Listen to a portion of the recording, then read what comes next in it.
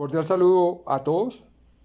Continúo con este hermoso libro, La mente bien ajardinada, y continúo con el mensaje de Voltaire. Voltaire.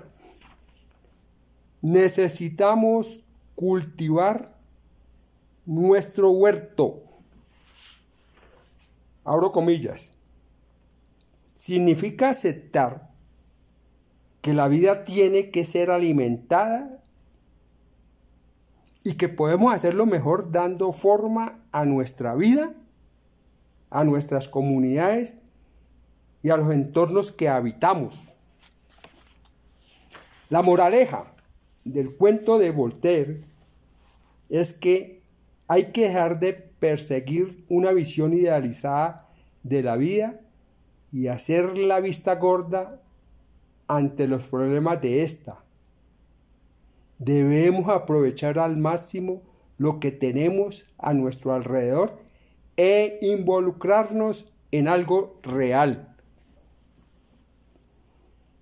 En esta era de mundos virtuales y de fake news, el jardín nos devuelve a la realidad. No es una realidad conocida y predecible, porque el jardín siempre nos, nos sorprende y en él podemos experimentar un tipo diferente de conocimiento sensorial y físico que estimula los aspectos emocionales, espirituales y cognitivos de nuestro ser.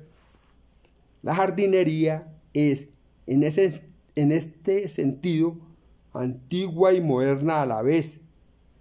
Antigua por el encaje evolutivo entre el cerebro y la naturaleza, y también antigua como una forma de vida situada entre la recolección y la agricultura que expresa nuestra profunda necesidad de apegarnos a un lugar.